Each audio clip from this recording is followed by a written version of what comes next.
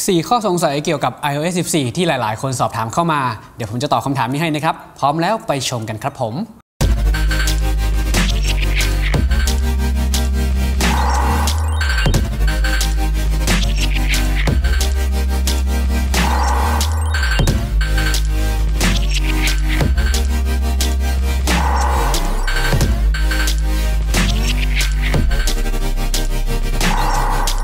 มาชมข้อแรกกันเลยนะครับ มีหลายๆ คนสอบถามเข้ามาว่าทำไมยังไม่สามารถอัปเดต iOS 14 ได้ ทั้งๆทที่เข้าไปเมนูตรวจสอบรายการการอัปเดตแล้วก็ไม่เห็นมี มีเฉพาะ iOS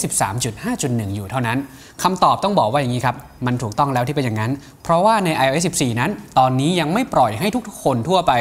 ได้อัปเดตกันนะครับ ตอนนี้มีเพียงเฉพาะนักพัฒนาเท่านั้นที่สามารถอัปเดตได้การที่จะอัปเดตเป็น iOS 14 Beta ได้นั้น จะต้องติดตั้ง iOS 14 Profile ติดตั้งตัวนั้นลงไปที่เครื่อง iPhone ก่อนนะครับ ถึงจะสามารถทำการดาวน์โหลดแล้วก็ติดตั้ง iOS 14 Beta ซึ่งเป็นรุ่นทดสอบได้ ดังนั้นถูกต้องแล้วครับ ที่เรายังไม่สามารถอัปเดตได้ตอนนี้ และทาง Apple จะเปิดให้อัปเดตพร้อม ๆ กันทั่วโลกในช่วงเดือนกันยายนที่กำลังจะถึงนี้นะครับ อัปเดต iOS 14 Beta แล้วจะต้องเสียเงินหรือเปล่าคำตอบก็คือไม่นะครับ ต่อมาครับข้อที่ 3 ถ้าเราอัปเดต iOS 14 แล้วอยากจะกลับมาเป็น iOS 13 ได้ไหม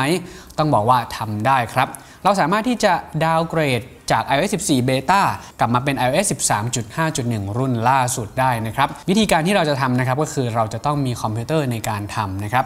ก็สามารถทำผ่านแอปพลิเคชัน iTunes ได้ สามารถทำผ่านแอปพลิเคชัน3 u t u n e ได้นะครับ เราลองหาข้อมูลเพิ่มเติมดูว่าวิธีการทำอย่างไร แต่ฝั่งของ iTunes นั้น วิธีการง่ายๆก็คือ เราจะต้องจับเครื่อง iPhone เข้า DFU Mode ก่อนนะครับ และหลังจากนั้นเราสามารถกด Restore ผ่านทาง iTunes ได้เลย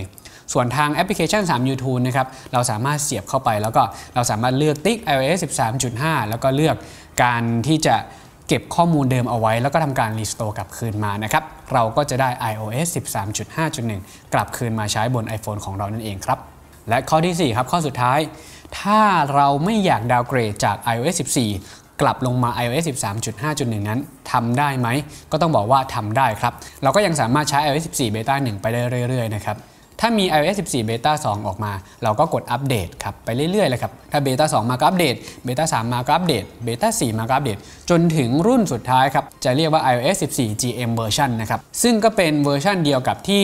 ทาง Apple นั้นจะปล่อยให้กับ บุคคลทั่วไปได้ใช้นะครับ นั่นหมายความว่าเราก็ใช้งาน iOS 14 ไปเรื่อยๆ ตรงนี้แหละ เพียงแค่เราอาจจะเจอบางช่วงบางตอนที่อาจจะเจอบั๊กบางช่วงบางตอนที่อาจจะมีแบบข้อผิดพลาดทางแอปพลิเคชัน บางตัวการทำงานผิดพลาดของระบบบ้าง ซึ่งก็ถือว่าเป็นเรื่องปกติของ iOS Beta นะครับ ถ้าเราทำใจ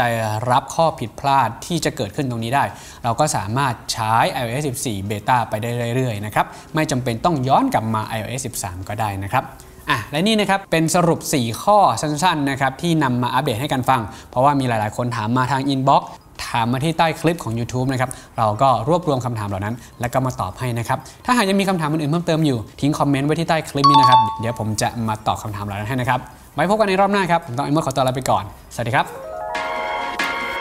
Let's go.